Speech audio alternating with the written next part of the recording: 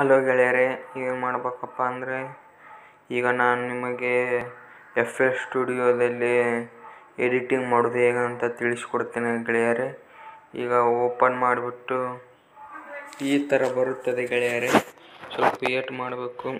ಆಗ ಸ್ಕಿಪ್ ಅಂತ ಕಾಣ್ತದಲ್ಲ ಗೆಳೆಯರೆ ಅದನ್ನು ನೋಡಿ ಪ್ರೆಸ್ ಮಾಡಿಬಿಟ್ಟು ಇಲ್ಲಿ ನ್ಯೂ ಅಂತ ಒಂದು ಬಟನ್ ಕಾಣ್ತದಲ್ಲ, ಅದ್ರ ಮೇಲೆ ಪ್ರೆಸ್ ಮಾಡಿ ಗೆಳೆಯರೇ. ಈಗ ಇಲ್ಲಿ ಕಂಟಿನ್ಯೂ ಅಂತ ಪ್ರೆಸ್ ಮಾಡಿಬಿಟ್ಟು ನಿಮಗೆ ಯಾವ ವಿಡಿಯೋ ಆಡಿಯೋ ಬೇಕು ಅದನ್ನು ಸೆಲೆಕ್ಟ್ ಮಾಡುವ ಆಡಿಯೋ ಕ್ಲಿಪ್ ಮೇಲೆ ಕ್ಲಿಕ್ ಮಾಡಿ. ಇಲ್ಲಿ ಮೈ ಫೈಲ್ಸ್ ಅಂತ ಕಾಣ್ತದಲ್ಲ ಗೆಳೆಯರೆ, ಅದನ್ನು ಪ್ರೆಸ್ ಮಾಡಿಬಿಟ್ಟು ಮೈ ಸಾಂಗ್ ಅಂತ ಕಾಣ್ತದಲ್ಲ ಗೆಳೆಯರೆ, ಅದರ ಮೇಲೆ ಪ್ರೆಸ್ ಮಾಡಿ. ಪ್ರೆಸ್ ಮಾಡಿಬಿಟ್ಟು ಅದನ್ನು ಪ್ರೆಸ್ ಮಾಡಿಬಿಟ್ಟು ಗೆಳೆಯರೆ, ಈಗ ನನ್ನ ಹತ್ರ ಒಂದು ಹಿಂದಿ ಸಾಂಗ್ ನಾನೇ ಎಡಿಟ್ ಮಾಡಿದಂಥ ಒಂದು ಸಾಂಗ್ ಇದೆ ಗೆಳೆಯರೆ. ಅದನ್ನು ಕೇಳಿ ಗೆಳೆಯರೆ ಹೇಗಿದೆ. ಹಾಗೆ ಎಡಿಟ್ ಮಾಡೋದು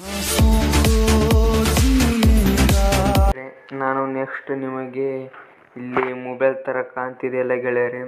ಈ ಥರ ಇದನ್ನು ಇಲ್ಲಿ ಹಾಕುದು ಹೇಗೆ ಅಂತ ತಿಳಿಸ್ಕೊಡುತ್ತೇನೆ ಗೆಳೆಯರೆ. ವೇಟ್ ಮಾಡ್ತಾ ಇರಿ. ಹಾಗೂ ನಮ್ಮ ಚಾನಲನ್ನು ಪ್ಲೀಸ್ ಸಬ್ಸ್ಕ್ರೈಬ್ ಮಾಡಿ ಗೆಳೆಯರೆ. ಪ್ಲೀಸ್ ಬಾಯ್ ಬಾಯ್ ಗೆಳೆಯರೆ ಬಾಯ್